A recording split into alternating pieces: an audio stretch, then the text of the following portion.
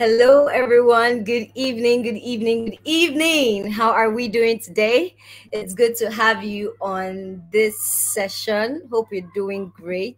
Have having a very powerful, um, quiet but cold evening uh, for those of us who the rain has hit in different parts of the country and beyond. Um, it's really, really good to really meet up with everyone here. Good evening, good evening. Um, so you're welcome once again to another session of the Startup Compliance Series. As always, I am your host, Rosemond Phil-Othihiwa, and it's quite the honor and the privilege to actually be here again. Um, we are in our 10th series, so I'm pretty excited um, about how far this um, has gone. Uh, the Startup Compliance Series basically is an informative and educative um, series of webinars where we basically talk about core and critical legal compliance um, consents, topics, um, issues for startup founders, um, startup uh, businesses, startup uh, businesses, and you know everything that really concerns to your growth and your productivity as a startup founder and as a business owner. A lot of people are very, very confused uh, in terms of the regulatory framework of what or how businesses operate. So uh, basically, this series, you know, just talks about this in detail. Um, we've talked about startup trends. We've talked about um, last week we had a very very interesting session where we spoke to um, anti-money laundering and counter finance uh, terrorism um, you know, regulations for startups, talked about, you know, those of you that have not heard of what they call a criminal certificate, we did that. We've talked about cyber security, uh, we've talked about data protection, we talked about taxes, uh, we've talked about corporate governance and compliance, and we've talked about expansion to other territorial uh, jurisdictions as a startup and as a business. So uh, you can catch all the replays on our YouTube channel, and of course, we have these sessions live on LinkedIn as well. So you can always check our pages. So I just want to say a very big thank you uh, if you've been here following us, joining, and if you will be watching this after this live session. I'm very excited to welcome you. Thank you very much. It's always such a pleasure to really just um, share knowledge and has participated in this session, sent us questions.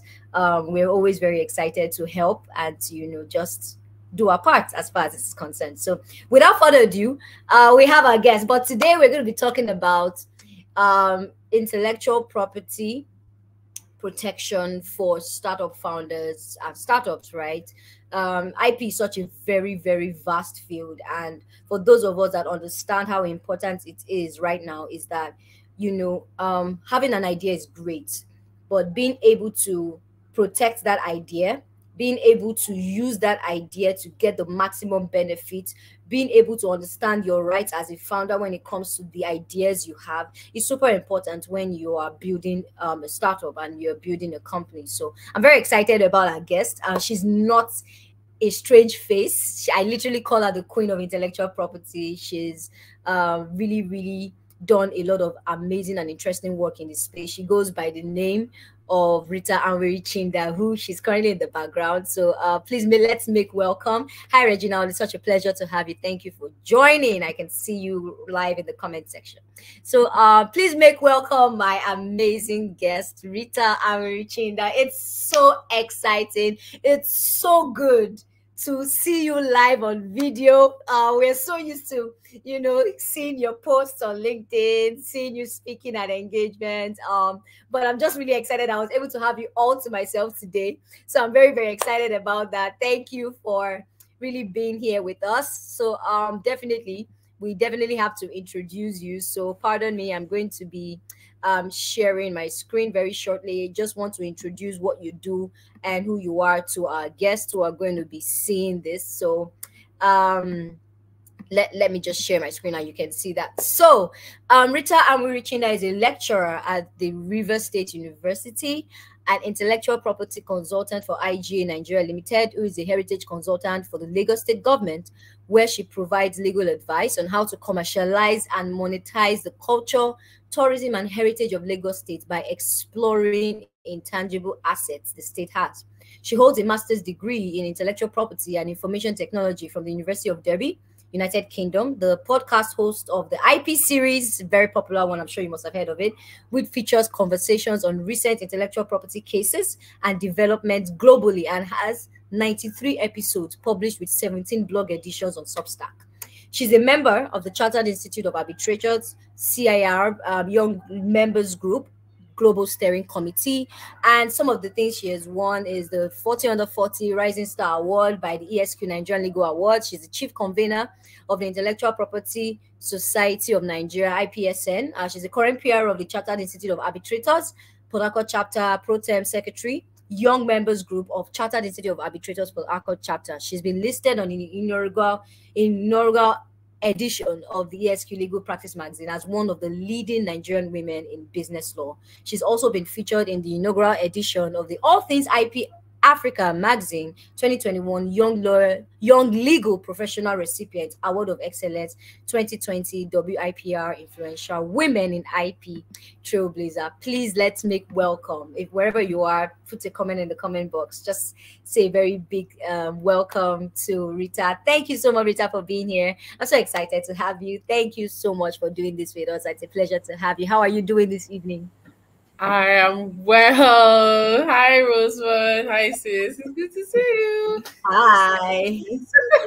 so good to see you. Wow, I, I, can I can literally feel the energy. It's so good, so good, so good. I love it. Um, yeah. So we we we, we let me right. So you said. So I'm just going to correct something. I know the last time when I sent you my my profile, I had 97 episodes, but now I have 102 episodes and the 103rd episode will be live on Monday. So, yeah. Awesome. Lovely. I love it. I love it. It's a, it's a consistency for me. I love it so much. Uh, so, um, yeah. so the thing is, um, the reason why I'm particularly excited about this session, guys, is because um, we are such we are we are in a very interesting time. Um, if you look at the the startup ecosystem, we've really done very massive transitions from just being get getting excited about building a business. We've come to understand that there's more that really makes a startup founder work or a startup business work, and you know you cannot take away intellectual property from it. So uh, we have uh, we are eight minutes past you know seven and we are definitely kicking to get this down to an hour um i am very curious. I would love to just hear from you. What's been your experience? Um not only have you literally as far as i'm concerned become a major leading voice in the intellectual property space but i really want to understand what your passion is and why you think intellectual property is so important especially when it comes to doing business um not just as um someone as, as a business person right? Why is that so important to you? Because it is very clear beyond doubt that this is this is something that really means a lot to you as a practitioner. So it's intellectual property and it really means a lot to you. So i'm really i would really love to understand your thought process your passion behind you know what you do uh, in the intellectual property space. So if you could share that with us uh, your question is actually loaded, Rose. um, let's see. Passion. Should I say money first? No, I would say money first. But I would say is the is the possibility that IP brings for startups and also the economy, the society, generally everything around us. And as you know, uh, and for many that do not know, intellectual property ip for short is has its tentacles in every industry.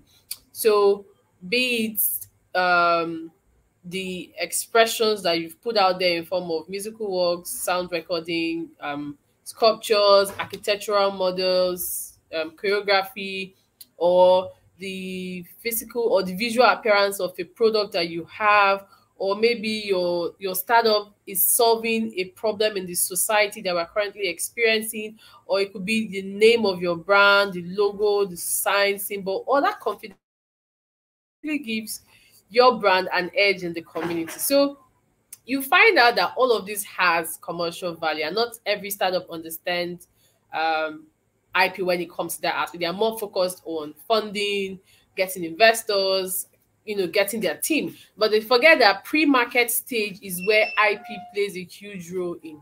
In the pre-market stage you are that's where you have your concept you do your market survey you you know you engage your team. You should even be con- considering documentation but many of them actually do not put that into consideration.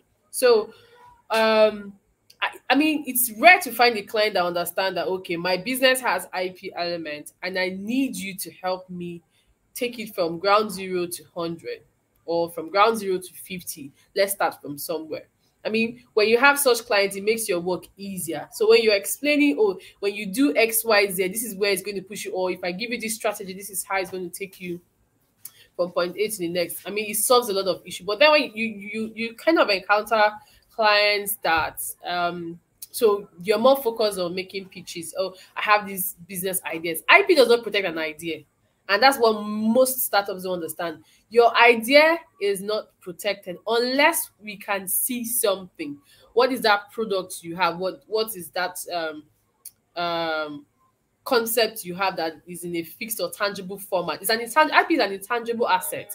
But then how can we see? So you have created or built something and put it out there in public.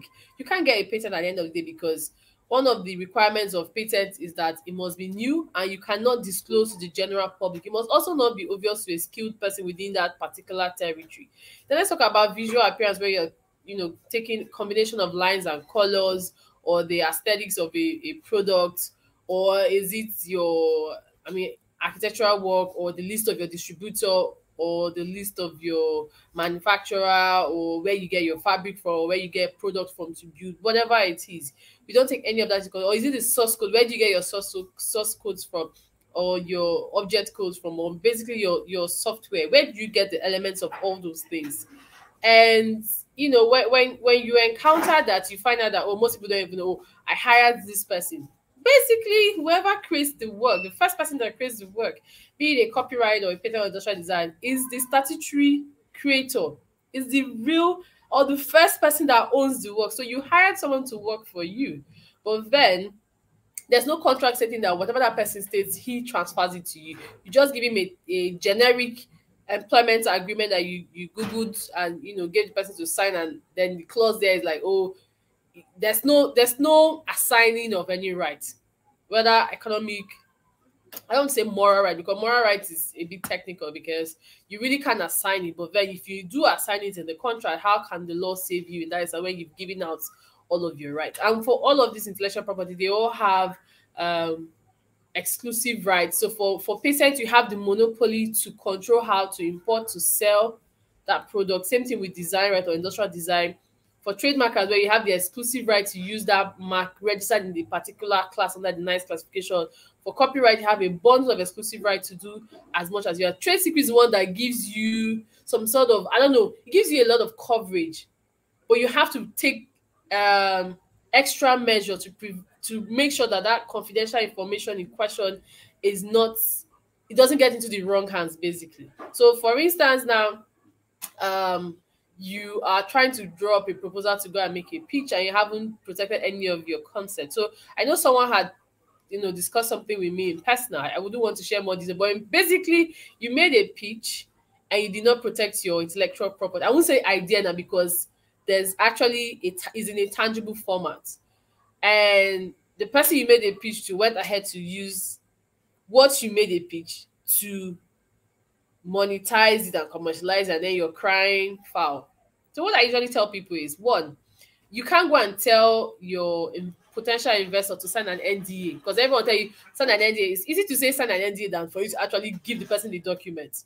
So basically, I'll tell you have a strategy from when you want to go into the market after you've gone into the market and you start looking for funders. Because sometimes when you're looking for funding, your IP portfolio can give you an edge when you're asking for XYZ. So if you watch Dragons Den a lot, and I would like people to really pay attention to that show. I mean, we started our own Nigerian version, but I think the few episodes I've watched, I've never heard any of the the investors um ask or the lions ask question like okay you have a registered trademark or a patent for this what is the worth of this if i give you xyz but you find out that when you're watching um dragons. They ask you those questions. So there was a particular episode when someone was like, "Oh, I have this business, but this person, um, I signed an agreement with the person, and he he is like, like it was a bit complicated." They asked, just asked her, "Do you have an IP registration for this?" And she said, "No." Does the person have an IP registration? And she said, "Yes." So he was like, hey, "You basically don't know what you're coming here to make a pitch for." So what I would tell you is save the funds as much as you're saving funds to pay your software developer or your employee or whatever save money and register your ip don't say it's too expensive because it's going to be more expensive in future when someone has taken the step to actually register and monetize because we applied what is called so for trademarks we apply what or for patent we apply what is called the first to file principle so if i file first and recognized as the IP author. However, in an instance where it's for, say, trademark, and someone knows that you are the actual owner, you can also oppose that registration um, for being registered in bad faith. That person did not do it with intention of actually, but just to spite you. Then you have IP trolls, people who just register IPs and wait for you to come and claim it, and then kind of like a a cyber squatting scenario, but in IP or for IP. So I would say my experience has been interesting. Uh, and I would say again, the pandemic helped a lot of startups to start rethinking um, how IP plays a huge role um, in their business or in, in the industry that they are based in. Because prior to COVID, when you're telling someone that, oh, before you do this, you know, do your IP, make sure your data um, um, data protection compliance, XYZ, and the person is like, he's like you're you're not saying what he wants to hear. Because to him, it's not it's not my priority. But your product is an IP product.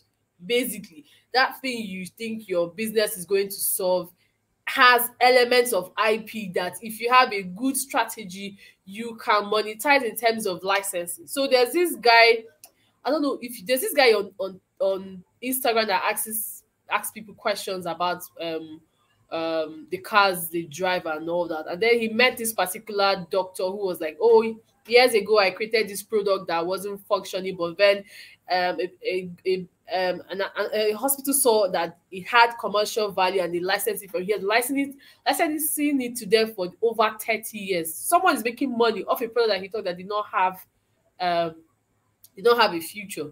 But some other person saw elements of that product and decided to, you know, go into a licensing agreement with the person and he's making cool cash. So when it comes to commercialization, it's like an extra revenue for startups. Um, cases like um, the Voxer case against Facebook and, and Instagram, how we how we interact now on Instagram Live or Facebook Live, it was someone's creation. They tried try Facebook tried to get you go into a partnership with them and it didn't end up working out. And Facebook took all the information that was shared in the course of the you know negotiation process back and forth. But luckily for this guy who happened to be in the Navy, he was quick enough to register or to patent it in the US. So he sued, I think it's one of the biggest um, damage given in the I think it's almost like 700 and something million dollars. You know, uh, we also have um, a South African case of an employee now who um i think i've talked about it on my podcast also on my content who uh, because of love he was inspired. So love inspired him to solve this issue. So I, I don't know how many of you use please call me back. He is the actual originator of please call me back. So he did that because every time he was talking to his then girlfriend who is now his wife she always ran out of credit or they, he ran out of credit and there was no way to tell the other person oh i'm out of credit please call me back. So he just thought about that and created it outside the confine of work. So, in as an employee, you now have to look at your your contract. Does it say that any work you create outside the confine of the work or with, in the course of employment? So it's a bit complicated and technical. And then you now have issues of non-compete clause where um, a former employee goes into the same line of business with his former oga, and you know they are both thriving, but one person cannot come and say this person stole my idea. So I, I, I someone um Shukrat mentioned this case, which I never knew about the Bobo Juice and Viju Milk case. It's a clear example of an, an IP case. But one thing is, Viju Milk is for adults, Bobo Juice is for children.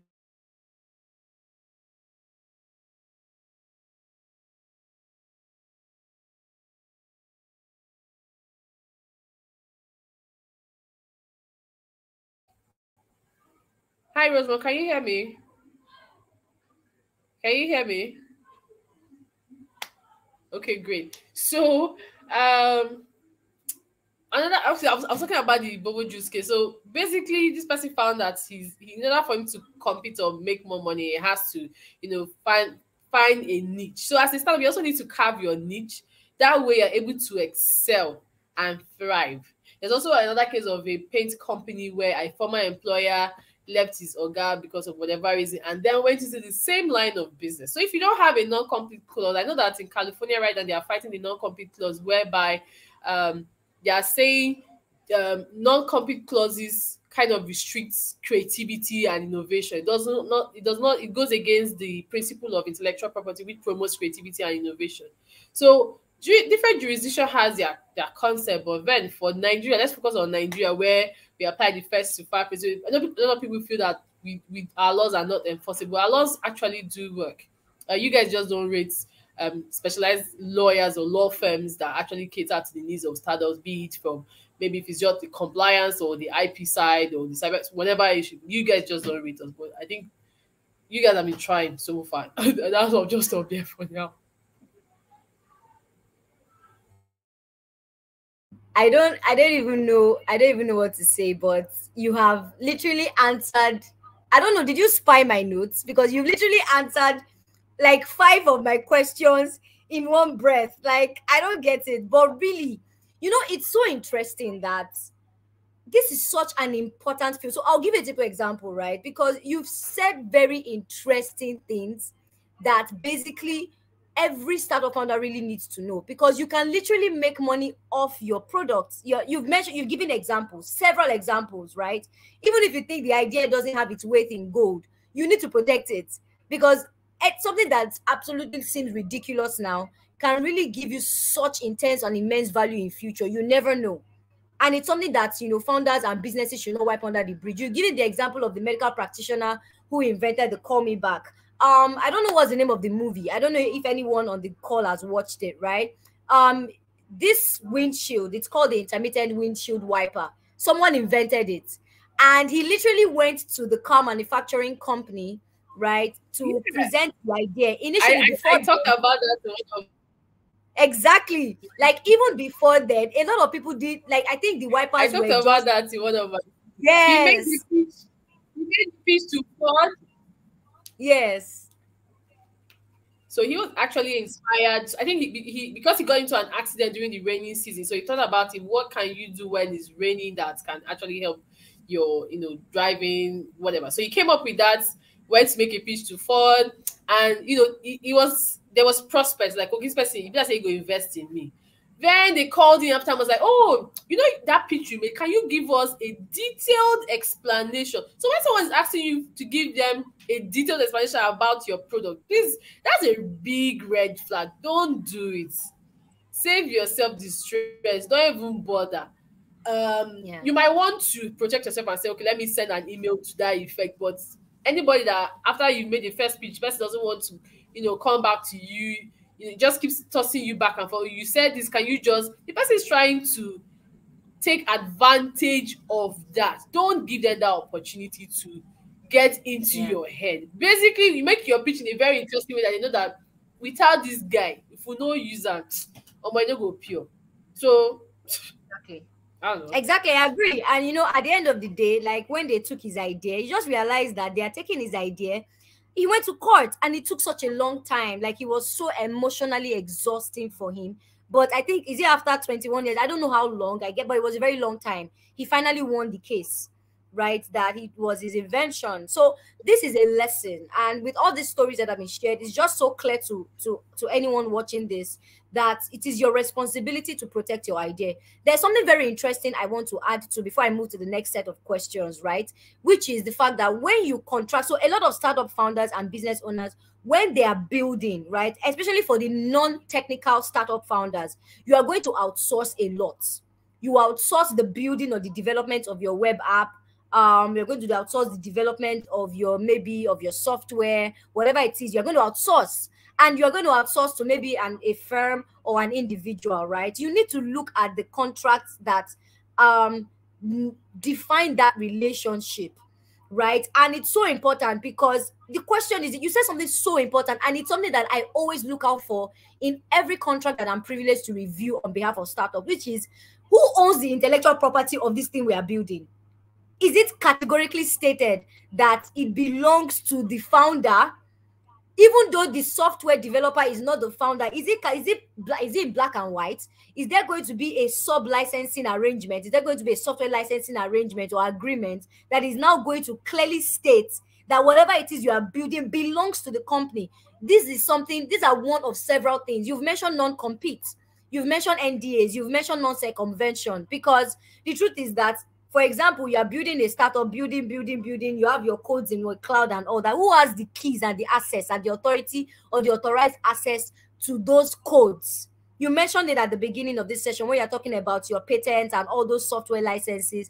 How do you protect those codes? How do you protect it if it falls under the area of a trademark, right? Your logos and all that. So it's just so important. It's so clear that you cannot build or be a startup founder and not pay attention to this critical aspect of your business because that's your wealth, your creativity, your idea, right? In fact, the whole essence of a startup is that you have seen a problem in the market, you've defined a solution for it, you've created a solution, you want to scale that solution, right? So, by the very nature of what a startup is, it is innovative in its was the word originality. So it has to be protected. There is no there is no back and forth about that, right? So um, I'm going to ask you one question, which I know you are going to take us on another beautiful journey again, right? So um, let's let it's it, it's very very it's very very fundamental, but I think it's very important, and I would love to ask ask this question, right? There are two questions. Number one, what what is the key difference, right, between a patent, a trademark, copyright, and trade secrets? Right? Because I know you get those questions a lot. And as a follow up to that, what are the first steps, right, that these founders should start taking to protect, evaluate, and maybe identify their intellectual property assets? Because some founders don't even know the importance of what they have, right? So those are my two questions. So let me say it again, right? The first is what's the key difference between a patent a trademark, a copyright, and a trade secret. And then what are the steps that these founders, upon discovering what they are, to protect, identify, and evaluate them? So that's my question. So the floor is yours. Okay. So um before I, I, get into that, I mean, one of the, the questions I get the most is, "Hi, Henry. So I was referred to you, and I have this idea, and like, IP doesn't protect ideas. What exactly is your product? So you want to be iffy with me. You want to be what's the word now? You don't want to disclose so much because if you feel that as a lawyer, I may whatever. But then we know that our RPC, which guides our practice, already states that there's confidentiality uh, between a lawyer and his client. I've even had a client go all the way and tell me I have to sign an NDA before he discloses whatever it is he had. I didn't have an issue with it, but then it just showed me that it was going to be a very difficult relationship, and then it really was because it didn't go anywhere. So to answer your question, how do you know when you have a copyright or you have a trademark, when you have an industrial design, a patent, or a trade secret? So for copyright, luckily Buhari gave us a gift, gave the, the creative sector, gave the um, give the industry a gift. We now have a new Copyright Act 2022 and it's very detailed. If you haven't read it, please take your time. It's about 65 pages long. Take your time or engage a copyright lawyer or a copyright firm or an intellectual property lawyer to take you through each of the section because now it's not I did not know or we don't have a law for that. It's there so copyright will protect literary and artistic work, musical work, sound recording, um, architectural work, um, broadcast work. Now, the basic requirement is that it must be in a tangible format. It must be and must be original, and it does not matter the um, the quality of that copyrighted work. What copyright will not protect are ideas, data, etc.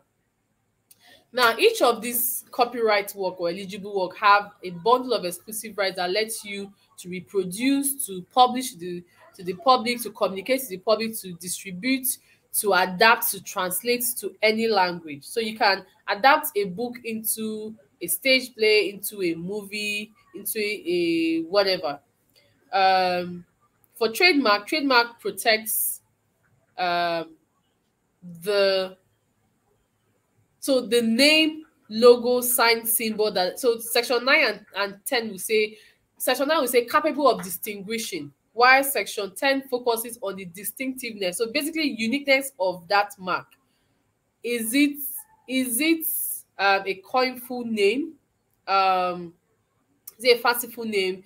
As long as it's not descriptive and it's not similar to another existing mark and it's not name of a, a chemical or it's not sub um, against public morality, then you're fine. However, if you're in doubt, you can engage a trademark lawyer, a law firm, to do a letter to the trademark registrar to verify whether the name that you want to use for your startup is unique or distinctive enough or meets the requirement under section 9 and 10 but we barely do that. Because when you tell someone oh i need to do this you're already thinking of money money money money why are you so focused on money instead of focusing on what's actually going to give you more money? So get. Um, then you then have industrial design, uh, which is also known as design patents in the US. So when you see people interchanging, interchanging, it depends on the jurisdiction. But when you see a Nigerian still say design patent, I just find it. Um, I, I can't really control myself. I just have to tell you, it's not design patent in Nigeria. It's actually industrial design. So you must meet the requirement under section 13, which says it must be, be new and not subject to public morality. However, um, if you go further down the, the, the, the, the act, it says that the true the statutory what he uses there is statutory creator or statutory author. Whereas for copyright, it states author. Then for trademark, it's uh what's the word now? It's not applicant to proprietor. Then for patent, patent protects or solves issues in the society as long as it's new and novel, not obvious to a skilled person, um, and has an inventive step. Once it meets this basic requirement, then you're good to go. However, in the event where you do a public disclosure stating, oh, my company is about to solve the light issue in Nigeria, or we are going to take energy from A to B, then you now have an issue because it's no longer new, it's in the public domain. And that will not meet the requirements. Whereas for trade secret, trade secret will basically solve um so anything that gives your business a competitive edge in the markets. Uh, for instance, the Coca-Cola recipe that everybody has been fighting for, or let's say um, you you recently created a 3D product that does xyz or you created this you have a, a distributor or supplier that gives you something that you use for your product that makes your product you know stand out from all the products out there or all the startups out there.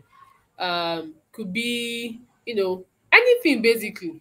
And you find out that i don't want to make it like an african or a nigerian developed country whatever but you find out that startups abroad are very secretive when it comes to, you know, list of suppliers, list of um, um, customers or manufacturers, whatever it is, as the case may be. They take extra measures either by um, having encrypted documents, limiting people that have access to certain information in the company, um, you know, signing NDAs or including a, a non-disclosure clause in your employment agreement or your independent contract agreement, whatever it is. Now, under the Copyright Act, the new act now, states, I think I should look for it and just share it. Um, the new act now states that if you work for government or any organization, they automatically own what you have created while you're working for them. If someone commissions you, the commissioner owns the work.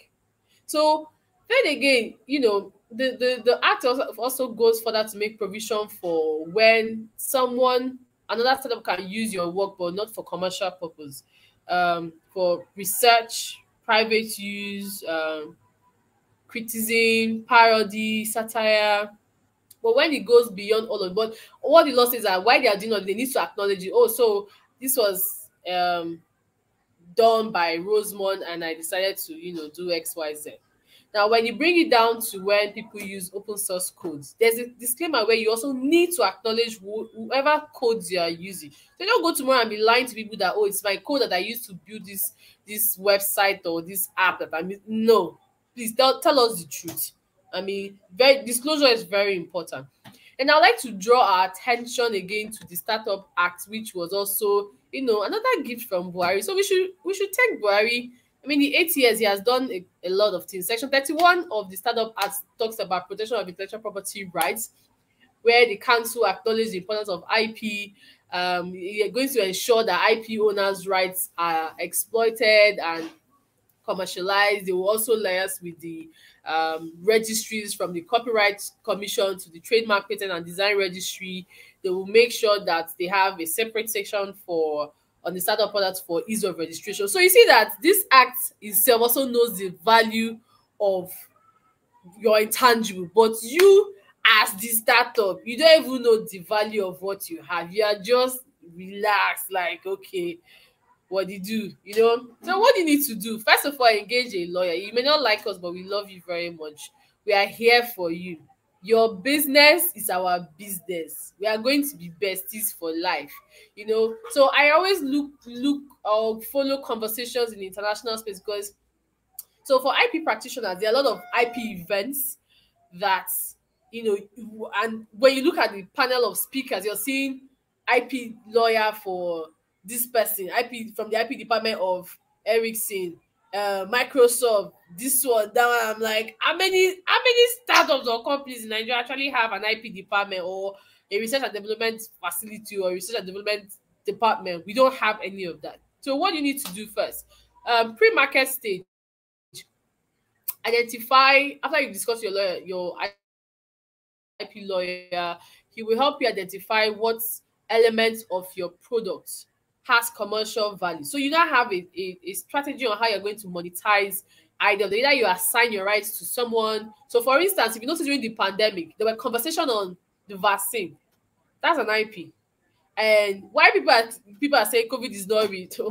To each his own though. We're not going to have that conversation here. But what I'm saying is that that conversation had to come up because they're considering that they should waiver the IP rights of the scientists that actually own the IPs to the molecules or chemicals or whatever it is that they use in creating the vaccines. How do they compensate them? You know, so on that um, patent, you have what is called the compulsory license, where the government will step in in an event of a situation like that. So you're going to give us a license. It's not an exclusive or not exclusive license. It's a compulsory license that you must give us because you're basically trying to help an issue or solve an issue. And like I said, patent basically is for products or services that solve and just solve something in the society, basically. So once you've identified that, oh, this so this part of my project has um, a patent whatever. You consider patent put it book it down. You don't have to release everything to the market so that everybody know that ah, this startup is doing well. I mean now we, we, there are a lot of viral seed fundings yeah. But there's no viral ip uh, eh, publication. This startup created this and has a patent for this or has an id registration for this or have you heard any nigerian startup that you they are fighting over their trade secrets? We know the era you know they like seriously or i think the most common one would be oh my name is similar to your name or my sound composition is similar to these but when it comes to the patent aspect it's very they are very minute um, I'll take us to the INEC case where someone has who had been a long time contractor. INEC still, sorry, I'm not the court, but what the court decided was that INEC actually stole their patent and design rights. So they asked INEC to pay money to the person. But INEC, I don't know, till there's a judgment um, the Siganishi order and you know placement while um several other cases as well. I mean the conversations are great, but we need more of those type of cases in Nigeria so that startups to say, oh, so there's a precedent out there that this person did X. I mean, we had the case of Northways and Side Reef, you know, yeah, I, I, don't want to talk so much about it, but you heard what I said. Um, that conversation went viral. So then it, we had an instance of that was during the pandemic where someone had gone to make a pitch to First Bank for their 150th anniversary, and his logo was used At the end of the day, and he came to Twitter, I was crying. Um, different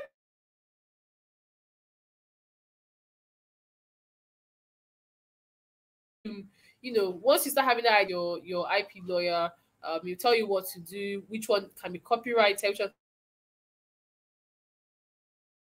to take extra precaution in terms of sharing confidential information with third parties.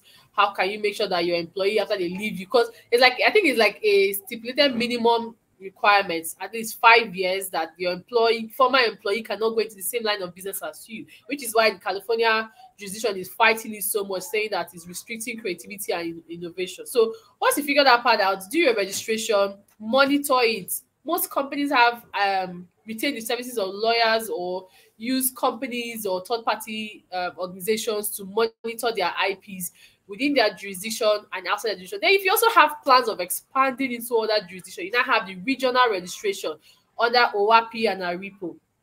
If you now want to expand internationally, like I used, like someone said, I want to do international registration. So I had someone that kept telling me, I want to register in all the countries in the world. I'm like, guys, it's not possible. You can't even afford it. Tell me the jurisdiction that you want to expand to. So let's know if they are under the international um, registration or regional registrations that we can look out for and then say, okay, we'll use the EU IPO or the UK IPO or the, the Australian IPO or the US, you know, PTO, whatever it is. Or let's go through OAPI or RAP. But you're telling me, insisting, and it's as if they're fighting me. If like, money is not the problem, do the math and tell us, Oga, if once you see the bill now, we hear that lawyer is expensive. No, because the cost includes the registration and my professional service, which is what most people don't even understand. So I've had an instance where I told someone, "Oh, you need to do a trademark," and he was like, "Oh, I need to do this NAFDAC application, and they need an acknowledgement letter." I'm like, "Okay, so this is what's going to cost you to do a trademark. Trademark will take you at least 18 to 24 months in Nigeria, and it's not even a Nigerian thing. For instance, the this is not startup related, but Pitbull registered his Grito year of and it took him 18 bloody months in the US and then someone is telling me you can get your trademark registered in two weeks. I told him bye bye.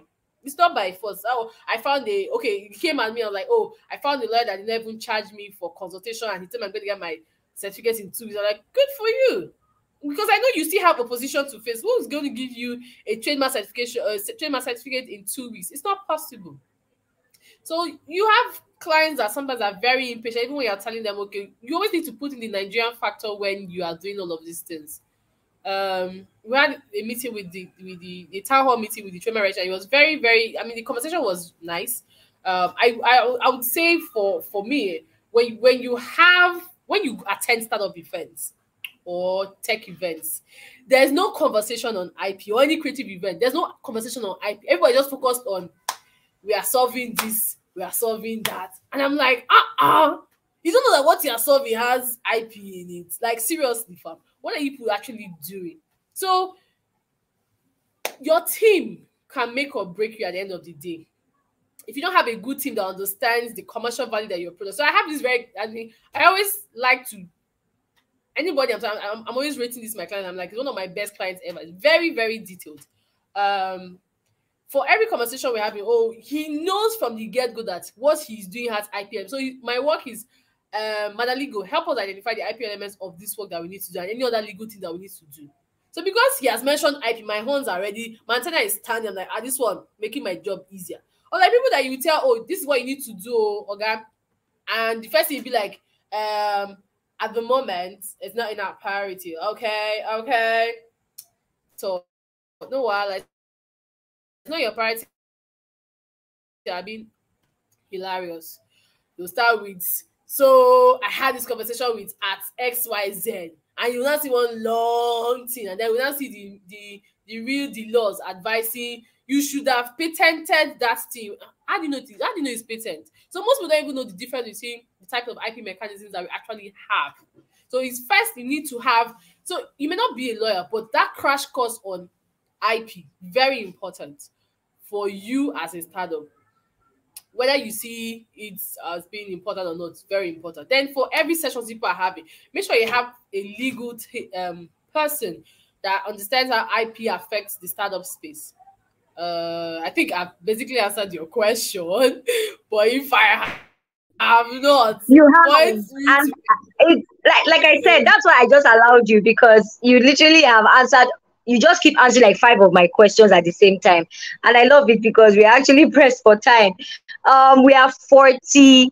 We're 45 minutes into this session, and it's just a lot.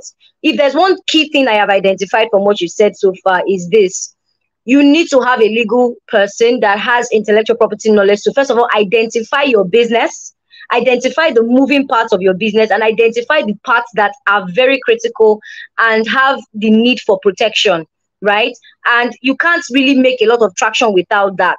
Um i wanted to sh- in fact when you when you also spoke you also spoke to the fact that you know there are different moving parts of your business and patent is different from trademark trademark is different from copyright. And i really love how you've explained because of course yes we have a new copyright act and that act literally you know has really done a lot of exposition on what it really really requires for you to be able to you know leverage on your copyright act. So for those of you that are just watching and joining this you need to get access to the copyright act. You need to look at it. You need to read it and understand what your rights are. I have i have a follow-up question to this and i hope you can just address it in like a minute right because of time. Um yes you said something about 18 to 24 months for registering a trademark. To be honest i have i i have played in that space and i know that what we think we call trademark registration. And i'm really being specific about trademark now. Is not is not trademark registration right? You do a window search you get an acknowledgement letter you get an acceptance letter. Please i need you to in one minute and i'm very serious you don't don't give us free advice. In even if it's 30 seconds explain like let's understand what this trademark process is about because I know there's a gazette stage. So a lot of founders are like, oh, we have the acknowledgement letter, we have registered our trademark. You have not, you have just been acknowledged.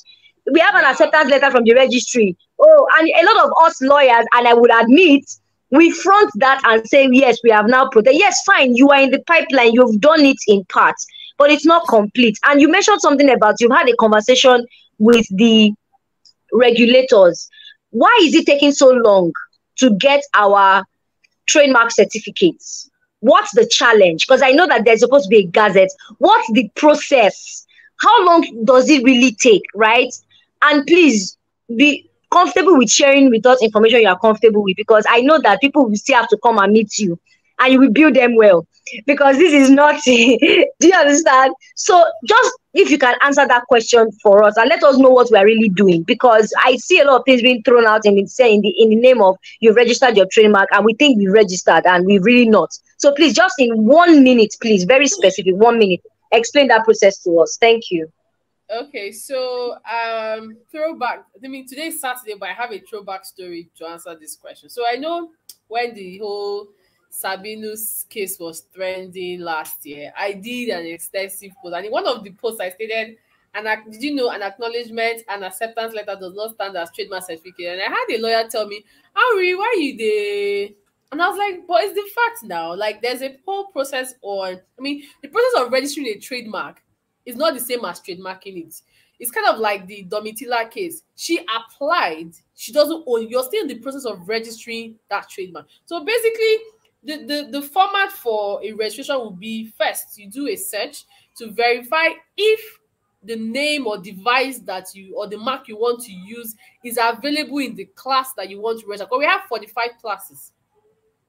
So can two names exist? Yes. However, if the test of likelihood of confusion comes into play, then there's an issue with your registration already. And one of the good things that the registry does, I'm going to commend them for that, is they will tell you, oh, um, so in the stage, you get your your feedback, class this. So there's a similar name in class this called this, a similar name in class this called this. What that tells you is that okay, your mark may not really be original or, or unique. I stated that under the provisions of the trademark regulation, and the Trademark Act.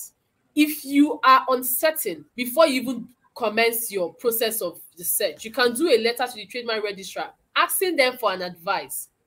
So I want to do the registration in this class, and this is the blah blah blah. Does it meet the requirement under section 9 and, and 10? You get your feedback, yes, no, and what you need to do. So if you decide to skip all of that and you come and meet me, because I know when I started practicing, uh, we had that issue where I don't want to badmouth anybody, but then you have agents that are very deceptive. They tell people that your acknowledgement is a certificate. How? Like you can get it in two weeks, you can get it in one month. Dude, trademark. The reason why it takes that long is because that principle or doctrine of distinctiveness is very important. Once your mark is distinctive, the benefits are numerous. You can claim exclusive ownership of that mark in that particular class. Emphasis on particular class. Before people say, we said you should was registered in one class, you only one. That's not what I said though. In that part, so if it's class one or class two or class 10 or class 35 or class whatever class it is that your, your business is. So my first point of question is always what do you actually do? So that tells me it's able for it's easier for me to now streamline okay, which are the classes. So I've had consultation with a colleague that was representing someone. And initially, we came to do one registration with no direction. But after our conversation, we found out that he needed like two to five. Two to five means more money. But because as a startup, you're trying to save costs, what I would now advise you to do is to pick the most important that you feel I must do it at this point in time. If I don't do it now, it's going to be an issue. So pick that one, start with that one. Then with time, you build from that. Then after your search, you then move, you then file. So once once um, you've confirmed that the details are filed online, you then move to the acknowledgement stage where you are issued an acknowledgement copy after filing. Acknowledgement, we have received the application.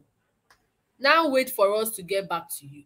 Now the acceptance letter that most people get. Some people get rejected. I've gotten a rejection before, but we we were told that we could appeal that rejection, and if we show cause that um the mark in question what was actually distinct. So that particular case is one of the cases that I'm very sensitive about because the lawyer did not even understand where I was coming from. From the very moment we had our conversation, you know, the thing is when you're dealing with your colleagues, they are very they really don't want to pay for consultation, but they just believe, oh, you shall owe them something. They are entitled to you, whether like or not. It's easier when you're dealing with the client directly. And I said this this thing you want to realize it's a mixture of a lot of common words that the registry might say is too generic and you cannot own sentences. For instance, you can't use the the, the Nigerian flag or the um whatever. There are certain things that you are not you can't even use Red Cross in your trademark application, whatever. So there are certain things that we need to go through. And then I advise, can you guys change it? And he said, No, we want to use this. And I said, Fine. We'll start the application. And we started. We had a bit of a hiccup. Um, I was told the catalog for that particular class was missing and it took them about a month to find it. And I was telling this person, just chill. Because me, I already know myself. I don't even know for trademark. I just apply and I, I just relax. Like I'm not going to stress. I just need my client to understand that this is something that takes time because the examiners need to do. I'm not the only person applying. She'll get. The examiners need to take their examination seriously in determining whether this mark in question is capable of distinguishing and is actually distinctive in nature in that class they want to register. So if it's not, you get a rejection with an advice. But if you pass it, then you now have to go to the next which is like the Oga Pata Pata, the publication in the journal, opposition, three months. You must. I know that because it's um let me not say it, but then you have to wait for your turn. When it gets to your turn, your mark will eventually. So you now have to be monitoring the registry at every interval. Either you have a connecting there like, ah, guy, have I fear me check when I don't publish my own. If you're lucky, it comes. If you're not lucky, to you wait for the next one. And the registry publishes quarterly. So if the first one comes out, you all know day. Just be calm. Don't be making it look as if person wants. I know how much is the money that you're even that I even charge that you feel that the money is going to get me a house in Banana Island or Maitama to start with. It's not. Do you understand? But it, when you're billing, you don't put all those stress into consideration. Okay, this is a long-term project. Do I charge you for that long-term project? Do I just charge you for just reducing that service once and for all and then move on to the next brief? So opposition is the stage where it's a compulsory stage where the mark can be opposed by a third party. This is where trademark opposition comes into place. Where someone can oppose and say it was registered in bad faith, the person that registered it, um, the mark is similar to my own. Um, and and and and then that the timeline for that is two months from the date of publication, not three months, like I said. It's two months from the date of publication. So if you scale through and nobody goes to register to say, "Oh, this mark is similar to my own," you don't have an issue. But when someone opposes your registration, that is another uh, uh process where the lawyer now has to go and represent you and give show cause, file documents, processes. You're still going to pay for that service because I did not include it in my initial um um, charges when I was billing you to say, oh, what's your trademark registration? Because I never even expected that we were actually going to um, get to the point where I have to do. I mean, you have it at the back of your mind, but you just pray that once you scale from from search to filing to acknowledgement to acceptance, you're halfway through. Do you understand? So you're not moving gradually. So if you now wait during that period, so the main thing is other than the examination, the opposition stage is the one that is that takes longer time because one, the registry has a lot of application on their on their on their hands. And I think a few weeks ago they said PEBEC awarded the trademark registry for clearing all their backlog. I still have like a couple there, and they said they've cleared all, but it's all right. It's all right. We thank God. Um, then you now have the certification, which is issuance of certificates and publication is confirmed. So sometimes you find out that people might want to charge you for opposition stage because I might need, I might have to buy the journal. The journal is not, it's not cheap. It's not expensive, but it's not cheap at the same time. So if I'm buying all the publication, who is who is going to foot that bill? Someone has to foot the but your clients don't understand that. So you find that some agents would rather charge you, oh, for search, I'll go take this amount for acknowledgement, I'll charge you. So I had an instance where I reached out to to a, a classmate of mine and I advised her like, "Oh, I see you're thriving so much in this in your day. Why don't you consider treatment?" I gave her a word of bill, and then she comes the next month to tell me, "Oh, someone told me you can do it cheaper." I said, "Fine." Then she comes and say, "Oh, I want to ask you. First, he's charging me for acknowledgement, for acceptance, for this." I'm like, "Dude, that is how the person wants to charge you. I don't. As in, I'm not going to put my my hand and spoil. Pour, I'm not going to pour sand for person guy. You know, any I want to make it charge you, but." Asha gave you a one off fee, but you felt that one was a better one. So go with it. So if you're dealing with a law firm, a law firm will definitely give you a one off fee. That's a law firm. If you're dealing with me as an individual, or if you're dealing with my consulting firm, that's different. Do you understand? So everybody has their scale. You always get questions like, oh, what is your official rate? I can't tell you official rate because I do plus, plus, plus. Official rate plus my services equals to this. That is all I know sometimes you might want to add VAT, but you find out that clients push back when you add VAT. Do you understand? So why is it long? Because examination must verify that your mark in question yeah. is dictated. Mm-hmm. All right. Uh, wow, thank you. I'm I'm sure you've gone through like I, from your voice, I can tell that a lot has gone through you, and you've gone through a lot in this space.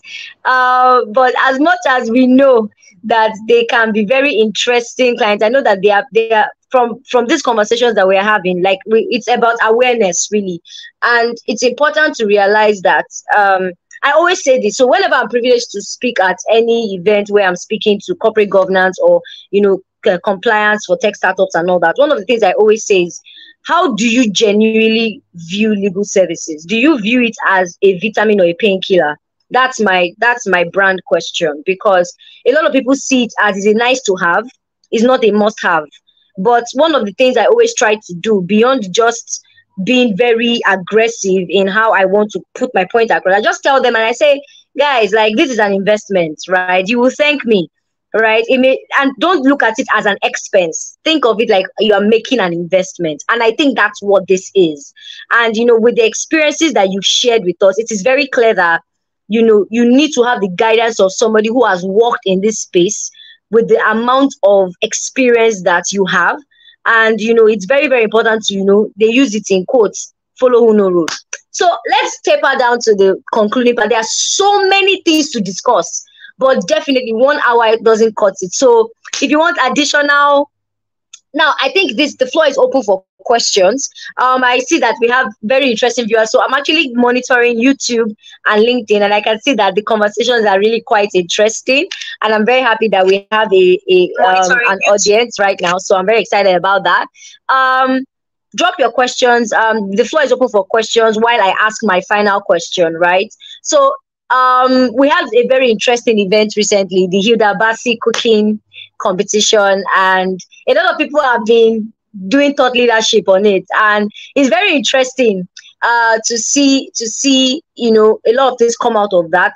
Um, but and that's coming from my question, right? Because everybody, you know, there are so many ways you can make money off your property.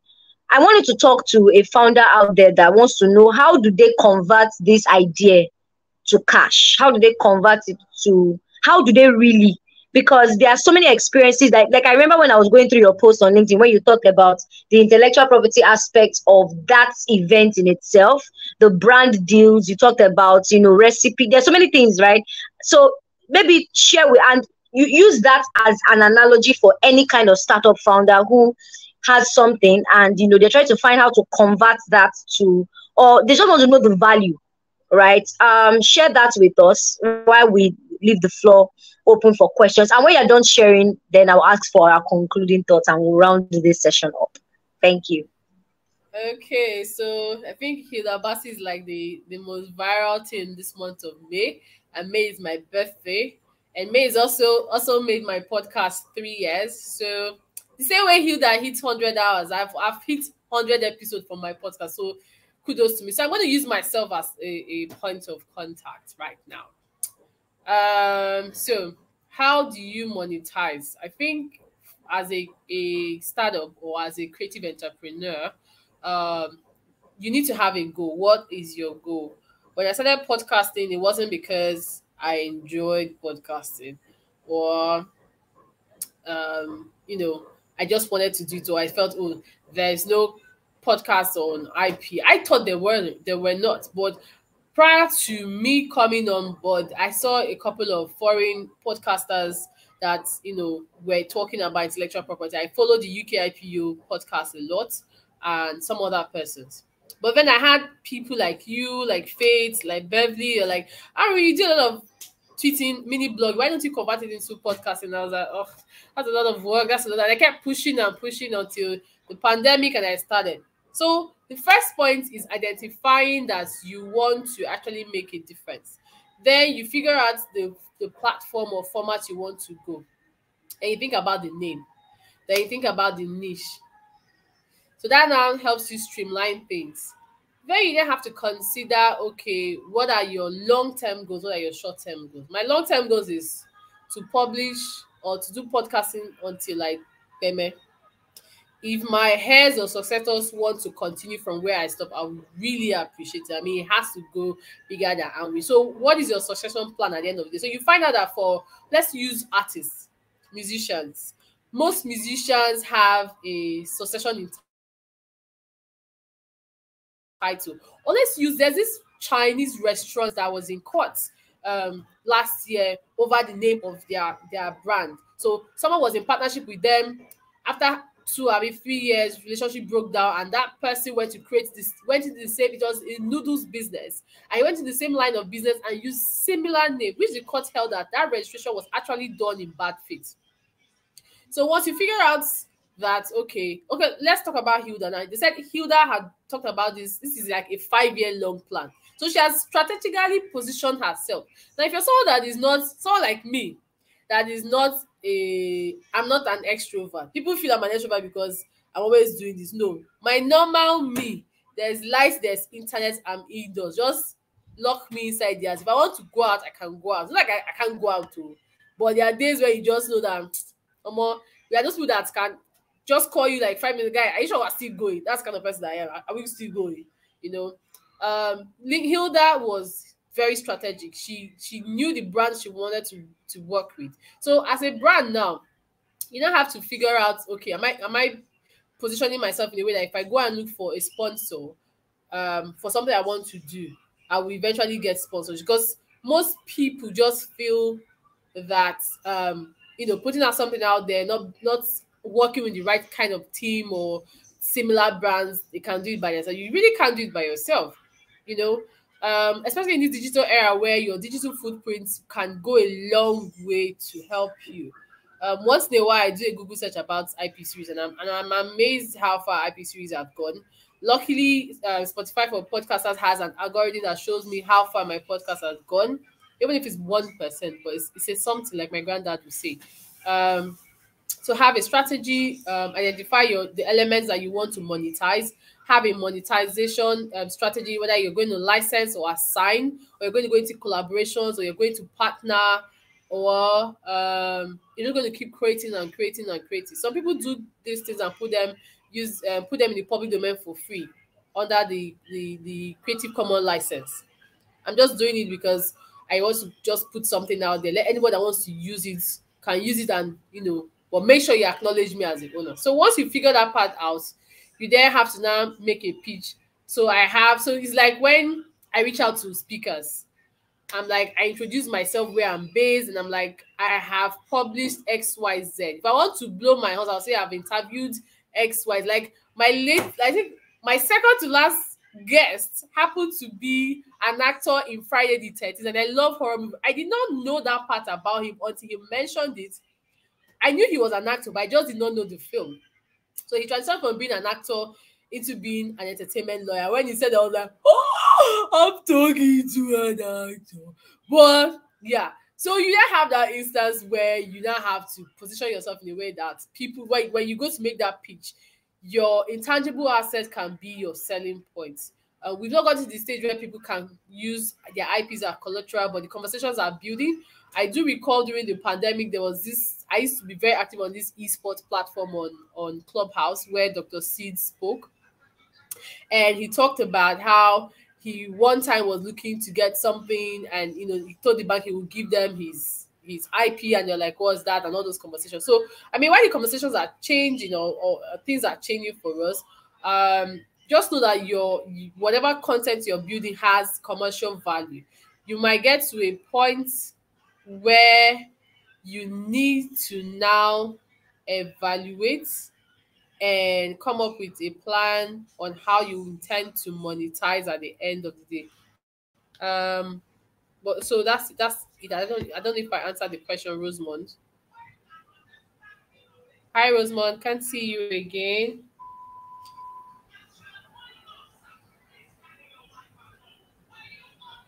Hey, Rosemond is off. hear me?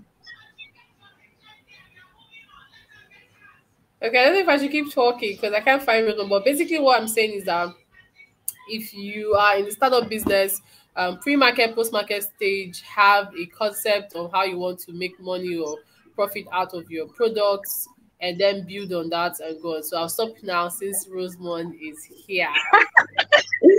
Sorry about that. You know, in Nigeria, you need to have your backup of your backup of your backup, so I can never be stranded. But yeah, um, I, I definitely got your point. And I think it's very important that you've placed these steps because I think it's a very strategic way to have a brand and also profit off that brand. I can tell you for a fact that this series that I am currently running, which I have been running since January, I can't believe it's almost six months, right? Um, there's a lot of work about me and what I do already in public domain. So I have a lot of people reach out, they want to use it for research and all that. It's a good thing, but you must know how to convert that intellectual property to to to capital, right? And yes, everything is not about money, but everything is about value. And value is what you define value to be. So mm. if your goal, like you've mentioned, is oh, I just want to do free stuff and bless the world with my gift, blah blah blah i don't have any need to do anything with it it's okay right but if you're like okay while i'm blessing the world i want to be recognized for my work it's important that you pay attention to things like this if you want to bless the world with your gift and get value from that it is perfectly okay as well so this is just a um rounding off right now because i really i think i think that this has just been an incredibly enlightening session rounding off it's just clear beyond reasonable doubts that you cannot afford to be laid back when it comes to your creative work because as much as you think it's not tangible, uh, it may not be like the phone in my hand. It may not be like something very tangible you can hold, but it is very, very tangible. It is very tangible. It may not be physical, but it's tangible. So the work you do, you must protect it. You must protect your staff. You must ex- protect your employees. You must protect your business. You must protect your company. You must protect your assets, whether it is intellectual or otherwise. And I'm just super glad that we had this conversation. So thank you so much, Rita. I know we could go on and on. Trust me, I have a ton. of questions to ask. But um, it's not the night to ask endless questions. I've, I've been looking at the comment section. I don't think I see any questions there, and I've gotten very lovely comments. Thank you so much. Um, somebody literally said that he walked in, she walked into the LinkedIn session. She wasn't looking, but she's so excited about the topic that we are discussing. So I'm very happy about that. Um, and I'm sure that this is a Saturday. A lot of people are resting with their homes and their families. So um, I'm sure when they come back online, they will see this and it's recorded, it's live, it's on our repository so you can always go back to it. So um my final comment i've said my final comment um and I, I don't know rita if you've said your final comment i would just love to end this with an announcement.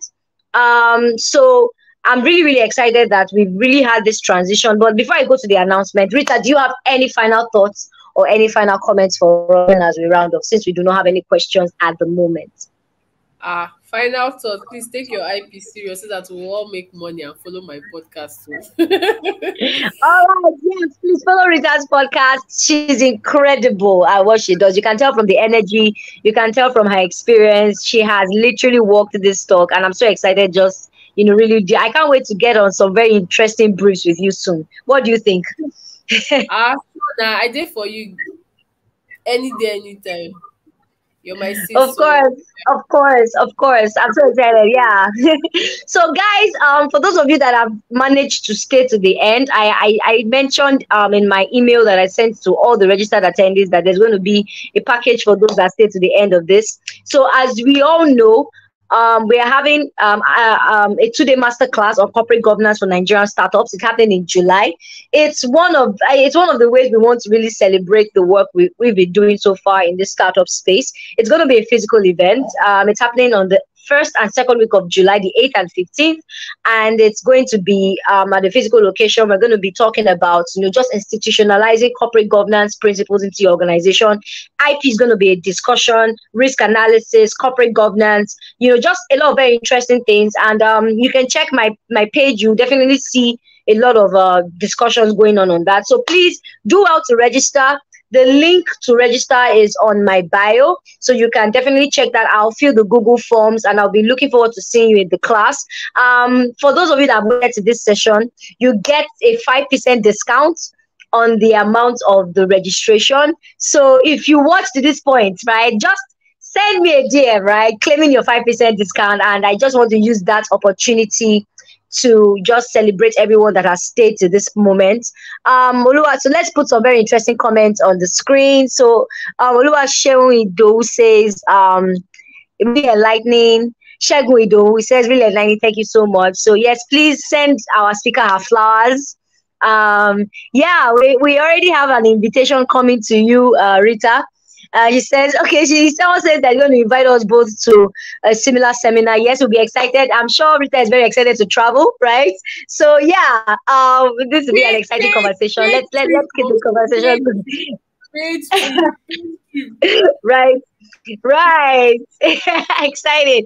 So yes guys um that's the announcement. Please look forward to more announcements coming up from this space. Uh visit rita's podcast. She has a podcast that she releases very exciting talks about very very interesting stuff in the ip space. Make sure you give her a follow. Make sure you give her a like um, go to all our pages, ensure you subscribe, and ensure that you are following and you are also educating the founders and business owners in your space. Let them know how important it is for them to keep their businesses intact as far as their corporate governance and their intellectual property rights are concerned. So this brings us to the end of this series. I think this is one of the most exciting um, series I've had so far. I'm not even lying. Like every series is interesting, but this is super, super, super interesting. I just love the conversation. I love the insight. It was just like chatting and gisting with a friend. Very exciting. I'm very excited about this. So, um, on behalf of us, uh, Rita is still here. I want to say a very big thank you.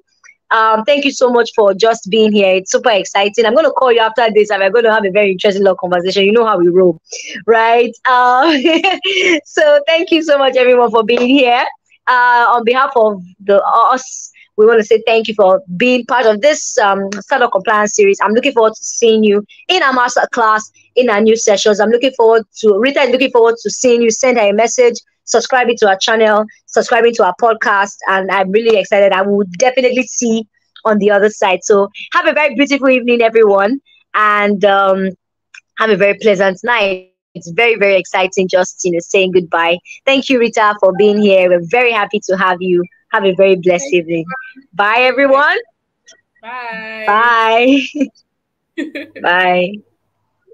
Bye bye.